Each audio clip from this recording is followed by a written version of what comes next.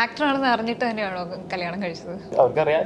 ആക്ടറാണ് എങ്ങനെയായിരുന്നു? അപ്രോച്ച് എങ്ങനെയായിരുന്നു? അപ്രോച്ച് ഫാമിലി ഫ്രണ്ട് ആയിരുന്നു. അങ്ങനെ കണക്ഷൻ വന്ന് അത് ജസ്റ്റ് ഒരു പിന്നെ ഒരു വൺ ആൻഡ് ഹാഫ് അവർ ഞങ്ങൾ സോറി ഒരു വൺ ഇയർ ഞങ്ങൾ സിനിമാക്കാർക്ക് പെണ്ണിട്ട്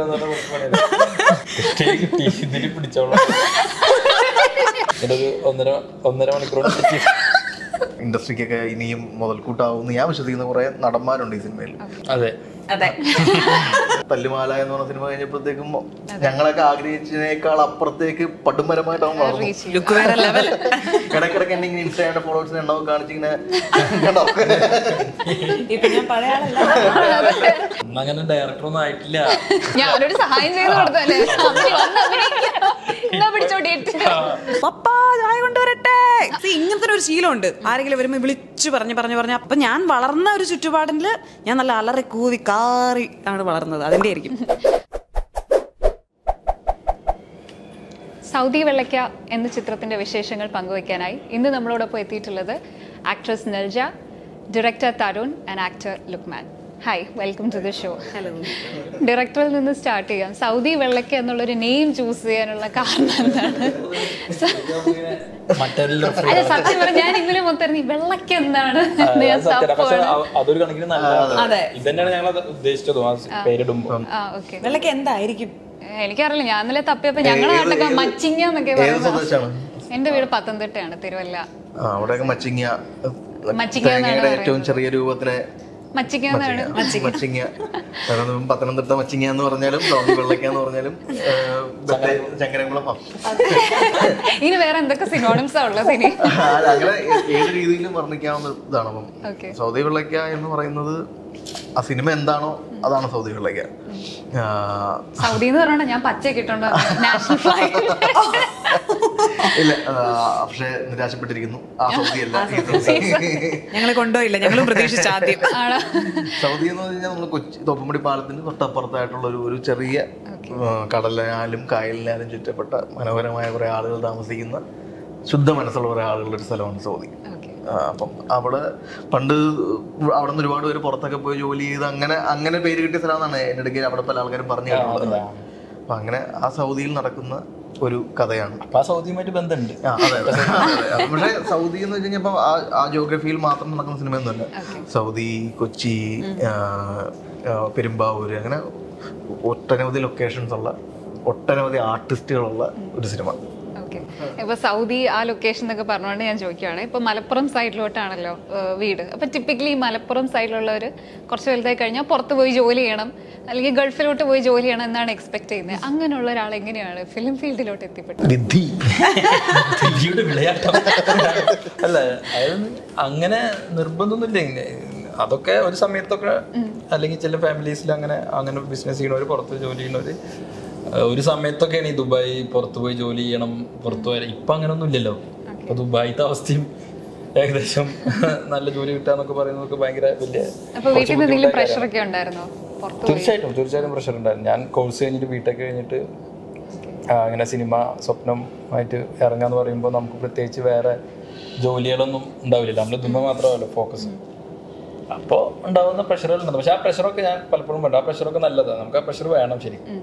ആ പ്രഷറൊന്നും ഇല്ലെങ്കിൽ നമുക്കൊന്നിനൊരു ഇതിപ്പോൾ എന്താ വെച്ചാൽ നമുക്ക് അവിടുന്ന് ഇവിടുന്ന് കുറച്ച് പ്രഷർ പ്രഷർ വരുമ്പോൾ സംഭവം നമുക്ക് അപ്പം അത് ബുദ്ധിമുട്ടുണ്ടാവുമെങ്കിലും പക്ഷെ നമ്മൾ കൂടുതൽ വർക്ക് ചെയ്യുമെന്നാണ് എനിക്ക് തോന്നുന്നത്. നമ്മൾ അറിയാതെ തന്നെ നമ്മൾ അതിനു വേണ്ടിയിട്ട് കുറച്ച് ഹാർഡ് വർക്ക് ചെയ്യും അല്ലേ ആ പ്രഷർ പോസിറ്റീവാണ് ആണ്. എന്ത് ക്യാരക്ടറാണ് ഈ ഫിലിമിൽ ഈ ഫിലിമിൽ ഞാൻ കുഞ്ഞുമോൻ എന്ന് പറഞ്ഞൊരു ക്യാരക്ടറാണ് കുഞ്ഞുമോൻ സൗദിയിലേക്കുള്ള ബാംഗ്ലൂരൊക്കെ പഠിക്കുന്ന ഒരു ഒരു ക്യാരക്ടറാണ് അപ്പോൾ ഇവൻ ഇവന്റെ ഒരു ഇവന്റെ ഒരു ലൈഫിൽ ഉണ്ടാവുന്ന ഒരു സംഭവത്തെ ആസ്പദമാക്കിയിട്ട് ഉണ്ടാവുന്ന ഒരു പ്രശ്നമാണ് ഒരു ഒരു ട്രാവലാണ് സിനിമ. ആ ട്രാവലിൽ വരുന്ന പല ക്യാരക്ടേഴ്സും ഈ പ്രശ്നത്തിലോട്ട് വരുന്ന പല ക്യാരക്ടേഴ്സാണ് ഈ ഒരു സംഭവത്തിലോട്ട് എല്ലാവരും എല്ലാ പല ക്യാരക്ടേഴ്സും എത്തുന്നു.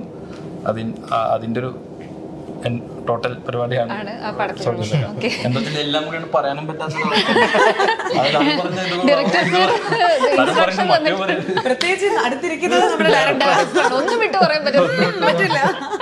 രാവിലെ തന്നെ ഞങ്ങൾ ഗൈഡ് ലൈൻ കൊടുത്തിട്ടുണ്ട് സംസാരിക്കാം. സിലബസ് ഉണ്ടായിരുന്നല്ലേ? ഓക്കെ ചേച്ചിയുടെ ക്യാരക്ടർ എന്താണ് ഈ ഞാൻ ലുക്മാൻ ചെയ്യുന്ന ക്യാരക്ടർ കുഞ്ഞുമോന്റെ സിസ്റ്റർ ആണ്. എന്റെ ക്യാരക്ടറിന്റെ പേര് അനുശ്രീ എന്നാണ് അനുമോൾ. രമ്യ ചേച്ചിയാണ് ഞങ്ങളുടെ രണ്ടുപേരെ അമ്മയായിട്ടുള്ള ക്യാരക്ടർ ചെയ്യുന്നത്. അപ്പം നമ്മൾ ആ ഫാമിലിയിൽ ഉണ്ടാവുന്ന കുറച്ച് കാര്യങ്ങൾ നമുക്ക് ഭയങ്കരമായിട്ട് റിലേറ്റ് ചെയ്യാൻ പറ്റുന്ന ഒരു വീട്. ആ വീട്ടിലുള്ള കുറച്ച് പരിപാടികളും കാര്യങ്ങളൊക്കെ ആയിട്ട് പിന്നെ നമ്മുടെ പല ഫേസ് ഉണ്ട്. അങ്ങനെ കുറച്ച് കാലഘട്ടങ്ങൾ ഇതിനകത്ത് കാണിക്കുന്നുണ്ട്. അപ്പം നമ്മുടെ ഒരു വളർച്ചയും അതോടൊപ്പം കാണിക്കുന്നുണ്ട്. അതാണ് എന്റെ ക്യാരക്ടറിനെ കുറിച്ച് ചുരുക്കി പറഞ്ഞാൽ അങ്ങനെയാണ് ഒരു കാര്യം ചോദിച്ചോട്ടെ? ഇത്രയും ഫോർമർ ആർ ജെ ആയിരുന്നല്ലോ. അപ്പൊ എപ്പോഴും ഇപ്പുറത്തെ സൈഡിൽ ഇരുന്നാണ് എക്സ്പീരിയൻസ് ഉള്ളത്. അപ്പുറത്തെ സൈഡിൽ ഇരിക്കുമ്പോ എങ്ങനെയുണ്ട് ഫീൽ നല്ല സുഖമുണ്ട്. സന്തോഷമുണ്ട്. കാര്യം നമുക്ക് പണ്ടും ഉള്ളിന്റെ ഉള്ളിൽ ഒരു ആഗ്രഹം ഉണ്ടല്ലോ അപ്പം അപ്പുറം ഇരിക്കുമ്പോൾ പലപ്പോഴും ആഗ്രഹിച്ചിട്ടുണ്ട് ഇപ്പുറത്തെ വസ്തു ഇരിക്കാൻ പറ്റുന്നത് ഒരു അങ്ങനത്തെ ഒരു നാൾ. നമുക്കറിയില്ല അത് എത്തുമെന്ന് പക്ഷെ നമുക്കൊരു ആഗ്രഹമുണ്ട് അതിനോട്. അങ്ങനെ എത്തിയപ്പോൾ ഭയങ്കര സന്തോഷമുണ്ട്. ഈ ഈ ആങ്കറിന്റെ സൈഡിൽ അല്ലെങ്കിൽ ഈ ഇന്റർവ്യൂ എടുക്കുന്ന ആളുടെ സൈഡിൽ നിൽക്കുമ്പോൾ ഒരു ടെൻഷൻ ഉണ്ടല്ലോ. ഇപ്പൊ അവിടെ ഇരിക്കുമ്പോൾ അങ്ങനത്തെ ടെൻഷൻസ് എന്തെങ്കിലും ഉണ്ടോ? റിലാക്സ്ഡ് ആയിട്ട് റിലാക്സ്ഡ് ആണ്. നമുക്ക് എൻജോയ് ചെയ്യുക. ഈ മൊമെന്റ് എൻജോയ് ചെയ്യുക ശരിക്കും. ഓപ്പറേഷൻ ജാവ എന്ന് പറയുന്ന from the makers of Operation Java എന്നാണ് ഫിലിമിൽ ട്രെയിലറിൽ കൊടുക്കുന്നത് അതൊരു റെസ്പോൺസിബിലിറ്റി ആയിട്ടാണോ? അതൊരു ബേർഡൻ ആയിട്ടാണോ? എന്താണ് അത് ഫീൽ ചെയ്യുന്നത്? അങ്ങനെ വരുമ്പോൾ എൻജോയ് ചെയ്യണം. കാരണം ജാവ എന്ന് പറയുന്ന ഒരു സ്റ്റാമ്പ് ചെയ്യപ്പെട്ട അല്ലെങ്കിൽ ജാവയുടെ ആളുകൾ എന്നുള്ള അഡ്രസ് ചെയ്യപ്പെടുന്ന എവിടെ ചെന്നാലും ജാവയുടെ ഡയറക്ടർ എന്ന് പറഞ്ഞാൽ നമ്മൾ നമ്മളെല്ലാവരും റെക്കഗ്നൈസ് ചെയ്യുന്നത്. നമ്മൾ ഇൻട്രൊഡ്യൂസ് ചെയ്യുന്നത് അങ്ങനെയാണ്. അപ്പം അതിന് ആളുകൾക്ക് അപ്പം ആളുകളുടെ മുഖത്ത് കാണുന്ന സന്തോഷവും ഒരു വണ്ടറും റെസ്പെക്റ്റും ഒക്കെ നമ്മൾ ശരിക്കും എൻജോയ് ചെയ്യുന്നുണ്ട്. അപ്പം അതൊരു ബർഡൻ ആയിട്ടൊന്നും ഫീൽ ചെയ്തിട്ടില്ല. അതൊരു ധൈര്യമാണ്. അത് ആളുകൾ വരും എന്നുള്ള ഞങ്ങളൊരു വിശ്വാസം ആൾക്കാരുടെ എക്സ്പെക്ടേഷൻസ് ഒരുപാട് ഹൈ ആണെന്ന് ഇല്ല ആളുകൾ നല്ല സിനിമ ഇപ്പം ജാവ പോലത്തെ ഒരു സിനിമ ചെയ്തു എന്ന് പറഞ്ഞ് വീണ്ടും ജാവ പോലെ തന്നെ ഇരിക്കുന്ന സിനിമ കൊടുക്കുന്നതിന്റെ അത് കാര്യമില്ല എന്നാണ് വിശ്വസിക്കുന്നതാണ് അപ്പം പ്രേക്ഷകന് ഞാൻ വിശ്വസിക്കുന്നത് ഇപ്പം ഓപ്പറേഷൻ ജാവ ഒരു ത്രില്ലർ ഗണത്തിൽപ്പെട്ട സിനിമയാണെങ്കിലും അതിൽ ഒരുപാട് പേര് സംസാരിച്ച അതിന്റെ അത് ലൈഫ് എലിമെന്റുകളെ പറ്റിയും ക്യാരക്ടറിന്റെ ആർക്കിനെ പറ്റിയൊക്കെയാണ് സംസാരിച്ചത്. പുതിയ കുറേ ആളുകളെ നമ്മൾ ട്രൈ ചെയ്യുന്നു. അവർ ആ, അവരെയൊക്കെ ആളുകൾക്ക് ഇഷ്ടപ്പെടുന്നു എന്നുള്ളതായിരുന്നു ആ സിനിമയുടെ പ്രത്യേകത. അതുപോലെ തന്നെ ഞാൻ ഇതിലും ഒരുപാട് പുതിയ ആളുകളെ ട്രൈ ചെയ്തിട്ടുണ്ട്. ഒരുപാട് എനിക്ക് ഭയങ്കര പ്രഷ്യസ് ആയിട്ടുള്ള ഞാൻ ഈ പറയുന്ന ഇൻഡസ്ട്രിക്കൊക്കെ ഇനിയും മുതൽക്കൂട്ടാവുമെന്ന് ഞാൻ വിശ്വസിക്കുന്ന കുറേ നടന്മാരുണ്ട് ഈ സിനിമയിൽ. നടന്മാരും നടിമാരും ഒക്കെ ഉണ്ട് ഈ സിനിമയിൽ. അതെ. അതെ.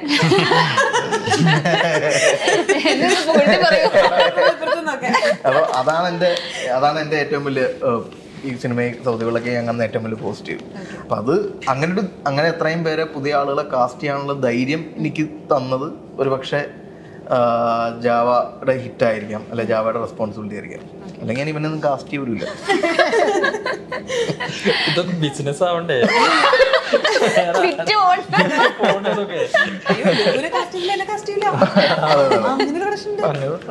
എങ്ങനെയായിരുന്നു ഈ ഫിലിമിലേക്കുള്ള വരവ് എങ്ങനെയാണ്? എങ്ങനെയാണ് സാർ വിളിക്കുന്നത്? അത് ഞാൻ പറയാം. വലിയ ജാവയുടെ ഒരു പോസ്റ്റ് പ്രൊഡക്ഷൻ സമയത്ത് എന്റെ മനസ്സിൽ ഇങ്ങനെ ഒരു ഇതിന്റെ ഒരു ബേസ് ലൈൻ ഉണ്ടായിരുന്നു. അപ്പൊ ഞാൻ അളിയന്റെ ഇടയ്ക്ക് ഡബ് ചെയ്യാൻ വന്നപ്പോഴത്തേക്കും അളിയൻ ഡബ് ചെയ്യുന്നതിന്റെ അകത്ത് കുറച്ചും കൂടി ഇൻസ്പയറിംഗ് ആയിക്കോട്ടെ എന്ന് പറഞ്ഞ് ഞാൻ പറഞ്ഞു അളിയാൻ അതിനുള്ള സബ്ജക്റ്റ് ഉണ്ട്. അടുത്ത പരിപാടി ഇത് ഇങ്ങനെ ഒരു പരിപാടി പിടിച്ചാലോ? എന്ന് ഓർത്ത് അങ്ങനെ ഒരു അഞ്ച് മിനിറ്റിൽ അവന്റെ കാറിൽ ഞങ്ങൾ ഡ്രൈവ് ചെയ്ത് പോകുന്നുണ്ടെങ്കിൽ ഞാൻ തോട്ട് പറഞ്ഞു. അളി ഇത് കൊള്ളാം. ഇത് ഞാൻ തന്നെ ചെയ്യാം. അല്ല അത് ഞാൻ നിന്നോട് ചോദിച്ചില്ലല്ലോ ഈ സ്ക്രിപ്റ്റ് ഏ, നീ ചെയ്താൽ നന്നാ. കാരണം എപ്പോഴും boy in the next door image അല്ലെങ്കിൽ നമ്മുടെ കൂട്ടത്തിൽ ഒരാൾ ഒരു മുറിക്കകത്ത് കൊണ്ടിരിക്കുന്നത് നമ്മളൊരാളെന്ന് തോന്നുന്നൊരു ഫേസ് പണ്ടാറങ്ങാൻ ദൈവം കൊടുത്തിട്ടുണ്ട്. അപ്പൊ അത് കാരണം എനിക്ക് ഭയങ്കര റിലേറ്റബിൾ ആയിട്ട് തോന്നി. അപ്പൊ നീ ചെയ്താൽ നന്നാവും തോന്നും.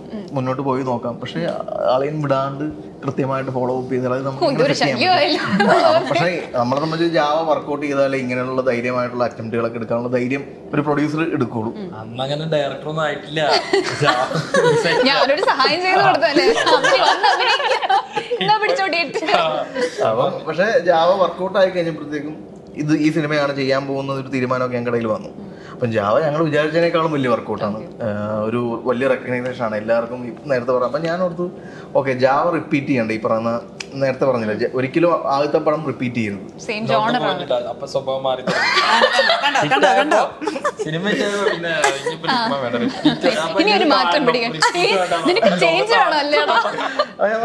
റിപ്പീറ്റ് ചെയ്യണ്ട. അപ്പം ബിരിജാനൊന്നും അന്ന് എന്റെ മൈൻഡിലേ ഇല്ല. ആ കൂടി ഗോകുലൻ എന്റെ മനസ്സിൽ ആദ്യം മുതൽ തന്നെ സ്റ്റക്കാണ് പക്ഷെ ഇവർ ഇവർ വേണ്ട നമുക്ക് വേറൊരു പുതിയ കോമ്പിനേഷൻ ഒക്കെ ട്രൈ ചെയ്യാം. പുതിയ ആക്ടേഴ്സിനെ ഡയറക്ടറിനെ എക്സ്പ്ലോർ ചെയ്യാന്ന് അപ്പോൾ നമ്മൾ വിളിച്ചു നീ പിടിക്കണ്ട ഞാൻ വേറെ ഒരു പരിപാടിക്കകത്ത് പോട്ടെ. നീ വേറെ പരിപാടിയൊക്കെ വെച്ച് സെറ്റ് ചെയ്യും. എന്നിട്ട് നമുക്ക് വേറെ ഏതെങ്കിലും ജംഗ്ഷൻ ആയിട്ട് വീണ്ടും കൂട്ടിമുട്ടാം. അല്ലെങ്കിൽ നമ്മൾ ഈ ജാവ ടീം തന്നെ റിപ്പീറ്റ് ചെയ്യുന്നു പറയുമ്പോൾ എന്നാ ഓക്കെടാ അത് കുഴപ്പമില്ല. നമുക്ക് വിധിച്ചാണെങ്കിൽ നമുക്ക് വരുമല്ലോ ഞാൻ "ആ, നീ നല്ല സിനിമ ചെയ്യും. അതല്ലേ നമുക്ക് ആവശ്യം. എന്നൊക്കെ പറഞ്ഞാണെങ്കിൽ വലിയ ഡയലോഗ് അടിച്ചിട്ട്.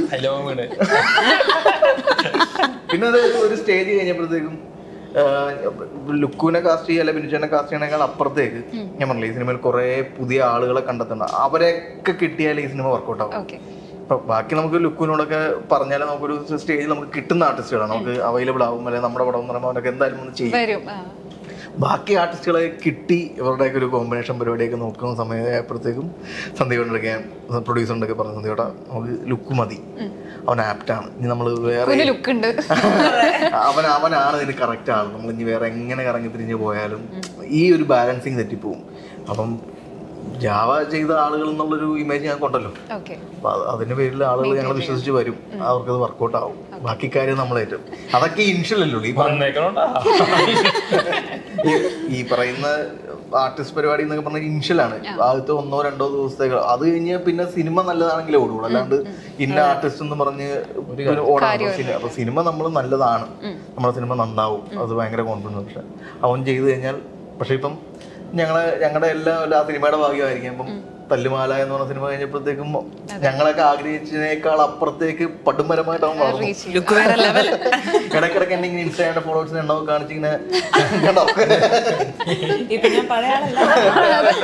വേണമെങ്കിൽ എന്നെ പടത്തിൽ കാസ്റ്റ് ചെയ്ത. നിന്റെ ഈ പടവും അടുത്ത പടവും ഞാൻ തന്നെ ഇപ്പൊ ഓപ്പറേഷൻ ജാവ ഭയങ്കര ഒരു സീരിയസ് ടോപ്പിക് ആയിട്ടാണല്ലോ ഡീൽ ചെയ്യുന്നത്.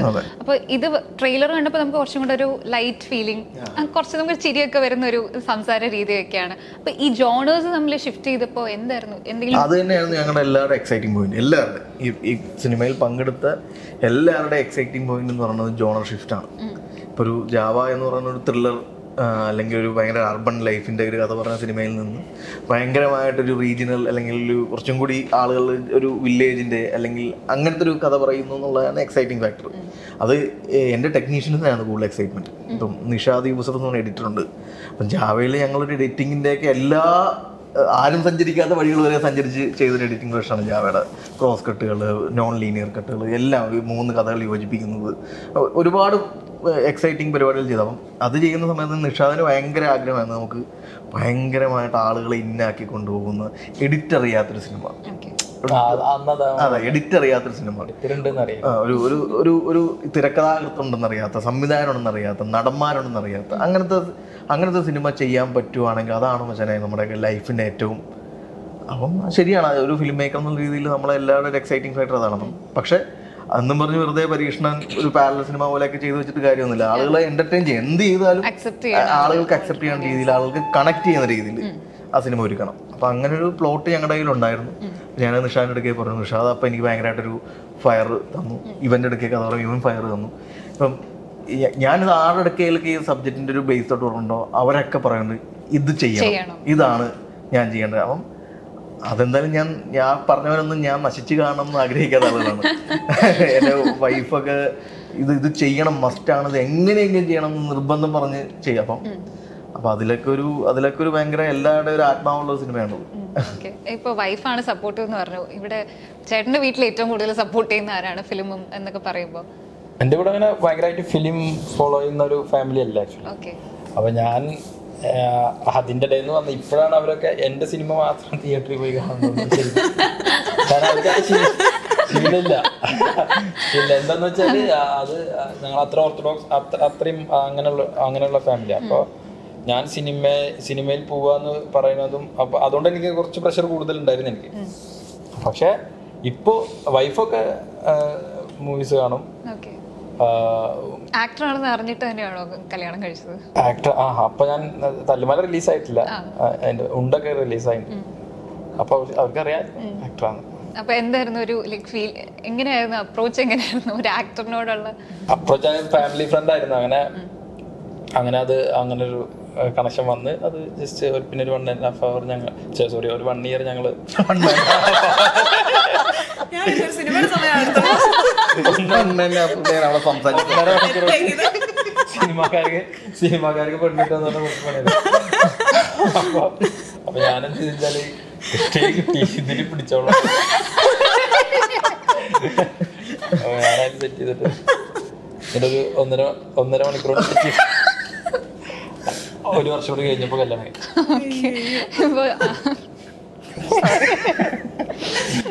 കണ്ണൂരാണല്ലോ വീട്. അതെ. പക്ഷെ ആ ഒരു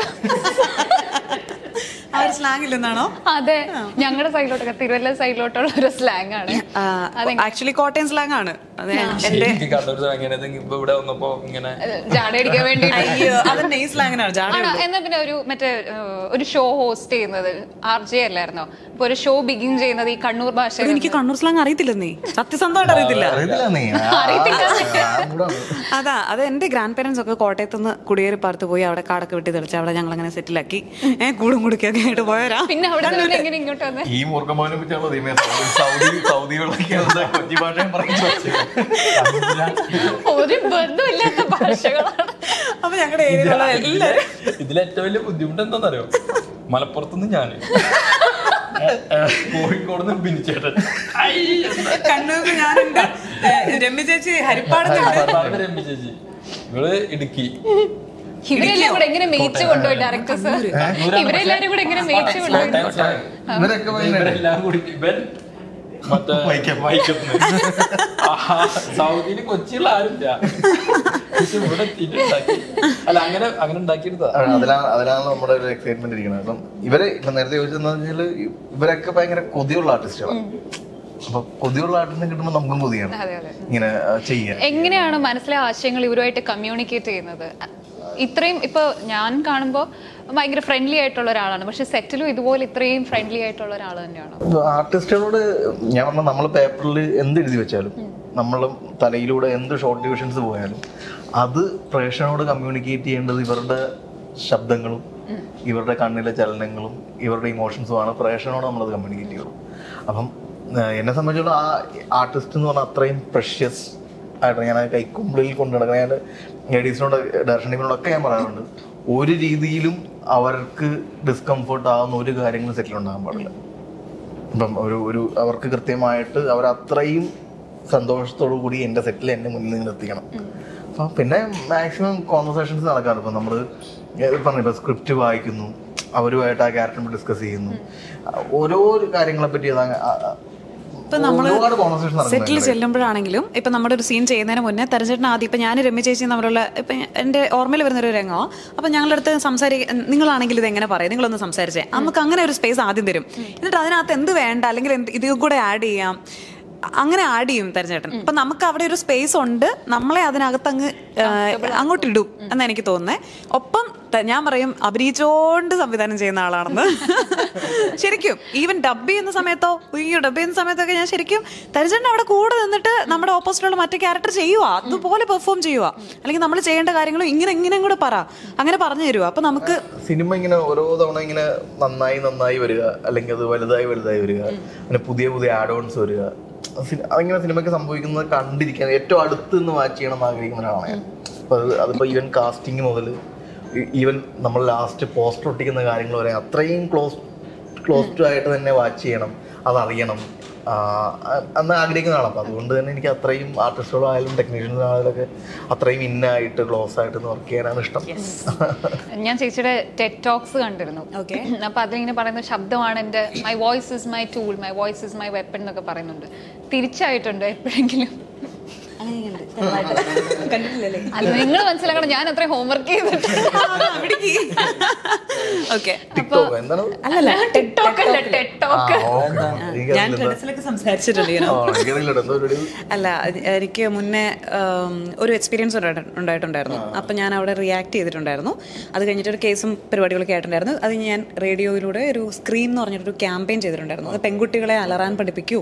നിങ്ങൾ റിയ ഇങ്ങനെ അടക്കി ഇങ്ങനെ ശബ്ദം ഒച്ച കുറയ്ക്ക് കൊച്ച കുറയ്ക്കുന്ന പറയുന്നതിന് പകരം അത് യൂസ് ചെയ്യാൻ പഠിപ്പിക്കും. പലപ്പോഴും നമ്മളെ വോയിസ് നമ്മളെ ഹെൽപ്പ് ചെയ്യും. ഒരു ടൂളായിട്ട് നമ്മളെ ഹെൽപ്പ് ചെയ്യും. ചിലത് വിളിച്ചു പറഞ്ഞാൽ നമുക്ക് അവിടെ എന്തെങ്കിലുമൊക്കെ ഹെൽപ്പ് നമ്മൾ തേക്കും നല്ല കാര്യം അപ്പൊ ഈ ശബ്ദം തിരിച്ചൊരു ഒരു പ്രശ്നമായിട്ട് എപ്പോഴെങ്കിലും വന്നിട്ടുണ്ടോ? സ്കൂളിൽ പഠിക്കുമ്പോഴൊക്കെ? അത് മറ്റേ വർത്താനം പറയുന്നതിന് എപ്പോഴും ആദ്യത്തെ പേരുണ്ടാവും. പിന്നെ അപ്പുറത്തെ ക്ലാസ്സിൽ നിന്ന് വരെ സാറ് നിൽജ മിണ്ടായിരിക്കുന്നൊക്കെ വന്ന് പറഞ്ഞിട്ടുണ്ട്. എപ്പോഴും. ആ പരിപാടി ഉണ്ട്. അതിപ്പോ ഇപ്പൊ ചുറ്റുള്ളവർക്ക് "ഇത് പതുക്കെ പറഞ്ഞാൽ എനിക്ക് കേൾക്കാന്ന് പറയുന്നു എന്നിട്ട് ഫാസ്റ്റ് ഫോർവേഡ് അടിച്ച് ചേച്ചിയുടെ ശബ്ദം മീൻസ് സംസാരം കേൾക്കുന്ന പോലെയാണ്. യൂട്യൂബിൽ നമ്മൾ അത്രയും സ്പീഡിൽ ഞാൻ തെറ്റാതെ പറയുന്നു എനിക്ക് തോന്നുന്നത് സംസാര ശൈലി ഇപ്പൊ നമ്മൾ വീട്ടിലാണെങ്കിലും ഞാൻ എന്റെ വീടിരിക്കുന്നത് ഒരു റബ്ബർ തോട്ടത്തിന്റെ നടുക്ക് മലയുടെ ചുവട്ടിൽ അങ്ങനെയാ. അപ്പൊ എന്റെ പപ്പ ചെറുപ്പത്തിൽ ഈ റബ്ബർ വെട്ടനൊക്കെ മേളി പോവും. അപ്പം പപ്പയ്ക്ക് ചായ കൊണ്ട് കൊടുക്കാനായി. അപ്പൊ മമ്മി എന്റെ അടുത്ത് വിളിച്ചു ചോദിക്കും. അപ്പൊ ഞാൻ ഇവിടുന്ന് പപ്പ ചായ കൊണ്ടുവരട്ടെ? മൈക്കൊന്ന് ദൂരെ പിടിച്ച്. അപ്പം ഇങ്ങനത്തെ ഒരു ശീലമുണ്ട്. ആരെങ്കിലും വരുമ്പോൾ വിളിച്ചു പറഞ്ഞ് പറഞ്ഞു പറഞ്ഞ് അപ്പൊ എന്റെ സൗണ്ട് എനിക്ക് തോന്നുന്നു നമ്മളങ്ങനെ പ്രാക്ടീസ് ചെയ്ത് നമ്മുടെ സൗണ്ട് ഇങ്ങനെ തുറക്കുമായിരിക്കും മേ ബി അപ്പൊ ഞാൻ വളർന്ന ഒരു ചുറ്റുപാടിൽ ഞാൻ നല്ല അലറി കൂവി കാറി ആണ് വളർന്നത്. അതിന്റെ ആയിരിക്കും. ഓക്കെ അപ്പോൾ വൈൻഡപ്പ് ചെയ്യാം. അതിനു മുന്നേ എന്താണ് ഓഡിയൻസിനോട് പറയാനുള്ളത്? ഈ സിനിമ തിയേറ്ററിൽ തന്നെ പോയി കാണണം എന്ന് പറയാനുള്ള ഇപ്പം പുതിയ കുറെ ആളുകളാണ് അല്ലെങ്കിൽ ഈ പറയുന്ന മലയാളത്തിൽ അത്രയും ഫാൻ ഫോളോയിങ് ഉള്ള ആക്ടേഴ്സ് ഒന്നും അല്ല. ഞാൻ നിന്നെ ഉദ്ദേശമല്ല ആ- അങ്ങനെയുള്ള ആളുകളാണെന്ന് വെച്ച് ഒരു ഒരു സെക്കൻഡ് ചോയ്സിലോ തേർഡ് ചോയ്സിലോട്ടോ മാറ്റി നിർത്തരുത് എന്നൊരു അഭ്യർത്ഥനയുണ്ട്. പേടിക്കണ്ട ഞാൻ ഉണ്ടല്ലോ അല്ലേ? അല്ല എന്ന് വെച്ചാൽ നമ്മൾ അത്രയും ഹാർട്ട് ആൻഡ് സോൾ കൊടുത്ത് ചെയ്തിരിക്കുന്ന തിയേറ്ററിന് വേണ്ടി ഡിസൈൻ ചെയ്തിരിക്കുന്ന ശബ്ദം കൊണ്ടും കാഴ്ച കൊണ്ടും തിയേറ്ററിൽ ഒരു ഓഡിയൻസിനൊരു ഒരു ഒരു ഇമോഷണൽ ജേണി അല്ലെങ്കിൽ അങ്ങനെ ഒരു ജേണി സംഭവിക്കണമെന്ന് സ്ക്രിപ്റ്റ് ടൈമിൽ മുതൽ തന്നെ ചെയ്തിരിക്കുന്ന ഒരു സിനിമയാണ് സൗദി അപ്പോൾ അതിന്റെ സൗണ്ട് ഡിസൈനിങ്ങിലൊക്കെ ആ രീതിയിലുള്ള എഫേർട്ട് ഞങ്ങൾ എടുത്തിട്ടുണ്ട്. ഞാൻ സൗണ്ട് ഡിസൈനിങ് എന്ന് പറയുമ്പോൾ എപ്പോഴും ഭയങ്കരമായിട്ട് പറയുന്നത് ഈ ഒച്ച ബഹളം അതല്ല ഞാൻ പറയുന്നത്. ആളുകൾക്ക് അവർക്കൊപ്പം സിനിമ ക്യാരക്ടർ കഥാപാത്രങ്ങൾക്കൊപ്പം ഇരുന്ന് സിനിമ കാണുന്നൊരു ഫീൽ ആ സിനിമ സമ്മാനിക്കും സമ്മാനിക്കണം എന്നായിരുന്നു ഞങ്ങളുടെ എല്ലാവരുടെ ആഗ്രഹം. അപ്പോൾ അങ്ങനെ ഹെർട്ട് ആൻഡ് സോൾ കൊടുത്ത് ഞങ്ങൾ ഒരുപാട് സിൻസിയറായിട്ട് ആത്മാർത്ഥമായിട്ട് ചെയ്തൊരു സിനിമയാണ്. അപ്പോൾ അതേ ആത്മാർത്ഥതയോടെ ഓരോ ഓഡിയൻസിനെയും സിനിമ കാണാൻ വിളിക്കുന്നു. നിങ്ങൾക്ക് ഇഷ്ടപ്പെടും. ഇഷ്ടപ്പെട്ട് കഴിഞ്ഞാൽ ഞങ്ങളെ ചേർത്ത് പിടിക്കണം. ഇഷ്ടപ്പെട്ടില്ലെങ്കിൽ ഞങ്ങളെ ചെവിക്ക് പിടിക്കണം. So thank you so much for your time and all the best thank you so much